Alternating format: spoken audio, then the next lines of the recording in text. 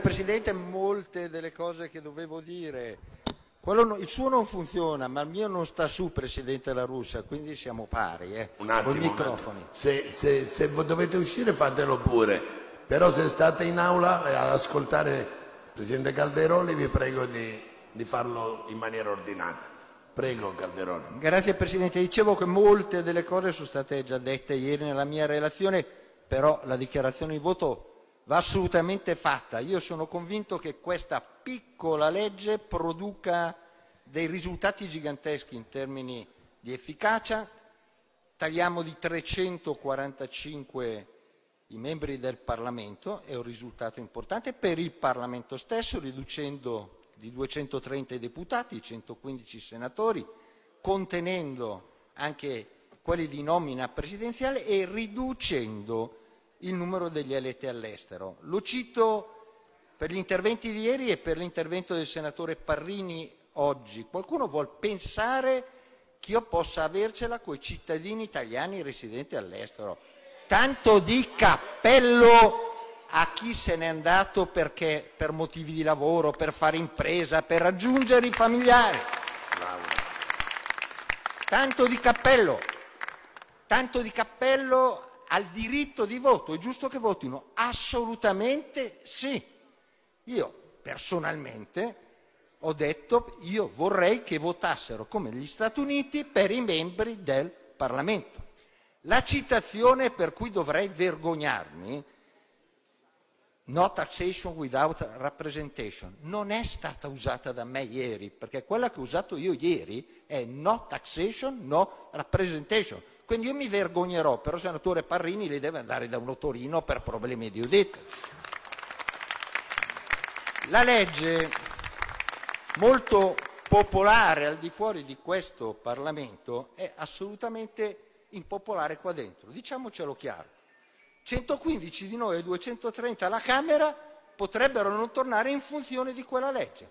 Potrebbe riguardare anche a me questa cosa qui. Quindi può riguardare assolutamente tutti, ma questo non ci deve impedire di farla per il semplice motivo che una cosa giusta va fatta.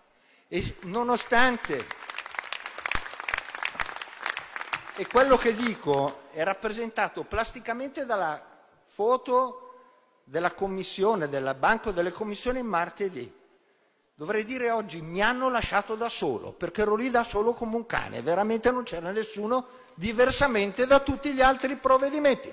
Io ho portato un testo che è la sintesi di altre proposte, ne ho presentata una singolarmente per la riduzione, c'è quella del collega Romeo Patuanelli, c'era quella del senatore Quagliariello, io ho presentato la mia ma io sono assolutamente orgoglioso e posso dire che rappresenta il raggiungimento di un risultato che sto perseguendo da 29 anni, sono quasi 30 anni.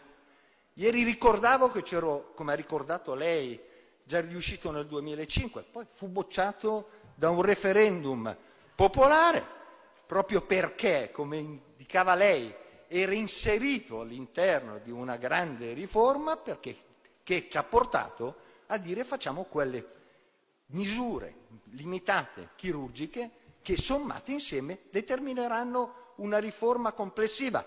Ma c'è un motivo.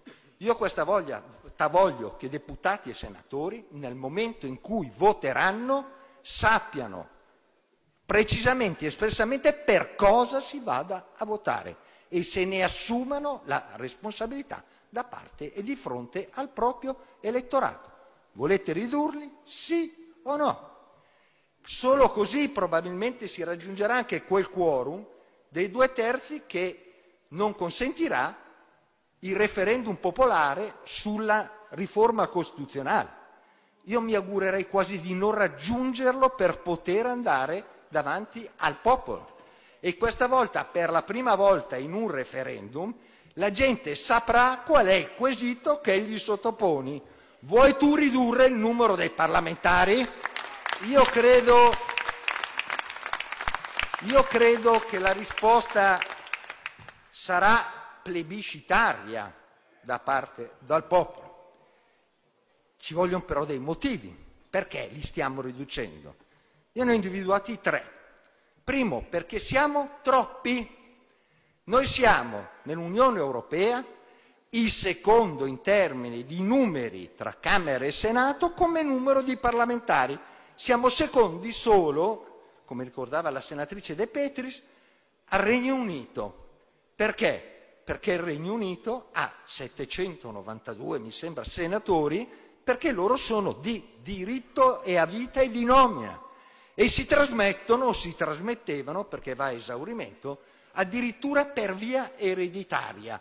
Io non vorrei fare i confronti con i 1442 del Regno Unito, mi raffronterei rispetto alle democrazie occidentali e noi non rappresentiamo la seconda nazione per numero di cittadini e quindi siamo troppi.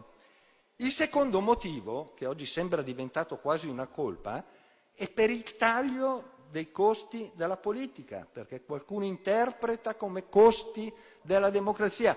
Guardate che 345 stipendi in meno non sono un attacco alla democrazia, sono un attacco ai costi, che è una cosa completamente diversa.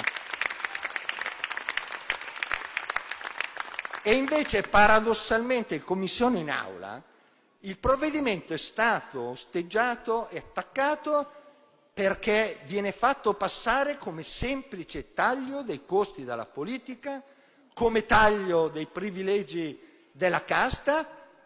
Ah, perché questa è una colpa, essere è populista? Non si deve fare un provvedimento perché rappresenterebbe una bandierina da portare alle prossime elezioni per campagna elettorale. È una colpa?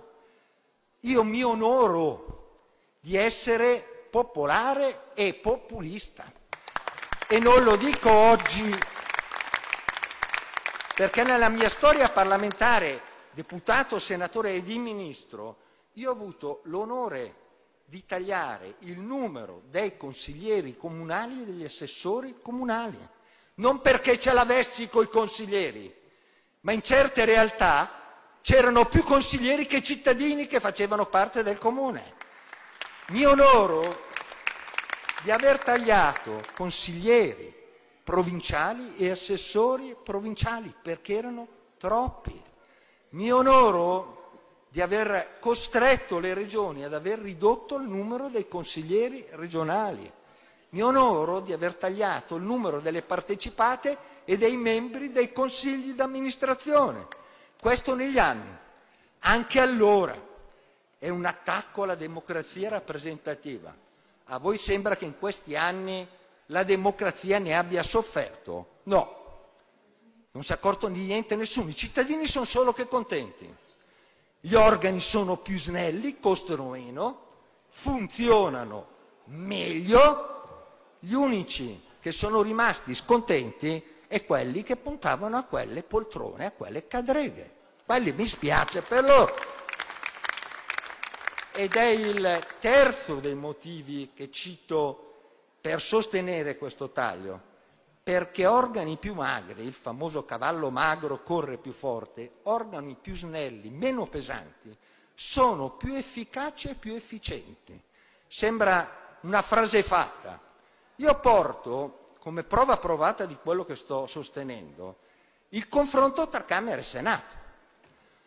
La Camera è il doppio del numero dei parlamentari del Senato, costa il doppio in termini di bilancio, facciamo le stesse cose. Quindi evidentemente c'è qualcosa che non torna. Io sostengo anche che le facciamo magari un po' meglio. Io ho fatto l'esperienza della Camera, sia come deputato sia come membro del governo. Ogni volta che io vado alla Camera con, con quell'aula di 630 parlamentari, a me sembra di essere un arbitro al centro di una partita di pallone con tutte le tribune piene dove tutti non capiscono alla fine niente, si vota senza sapere probabilmente che cosa si vuole votare perché si è troppi. La dimostrazione più pratica viene dalla diciottesima legislatura, quando sulla riforma del regolamento di Camera e Senato, che è una riforma che ha delle portate che va al di là qualche volta di una riforma costituzionale, e nella diciottesima c'erano stesse maggioranze politiche. Anzi, la Camera aveva più numeri che neanche il Senato.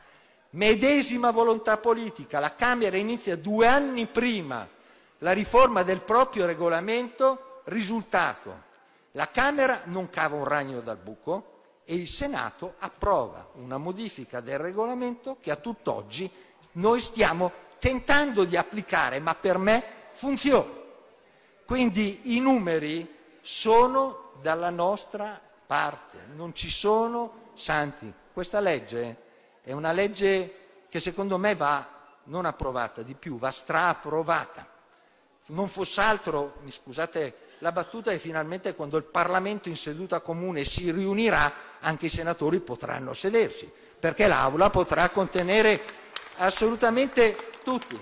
Quindi io voto non convinto. Vi prego di lasciarlo concludere, senatore. Le ho già dato un po' di tempo in più, la prego di avviarsi alla conclusione. senatore, però la matematica è matematica e se si usano i posti del governo ci saranno anche i posti per i 58 grandi elettori regionali e ci staremo tutti. Comunque io voto convinto sì, straconvinto per il sì, ciascuno poi voterà per quello che vuole. Votate astenuti, Grazie. votate grazie, ma non nascondetevi dietro al discorso della difesa della democrazia, della democrazia rappresentativa, del bicameralismo e tutto il resto. Gra- Perché grazie, chi Presidente. vota no o chi si astiene lo fa per difendere la propria cadrega e il proprio stipendio. Va bene, Grazie. Grazie. Buon riduttivo. Bene, è iscritto a parlare.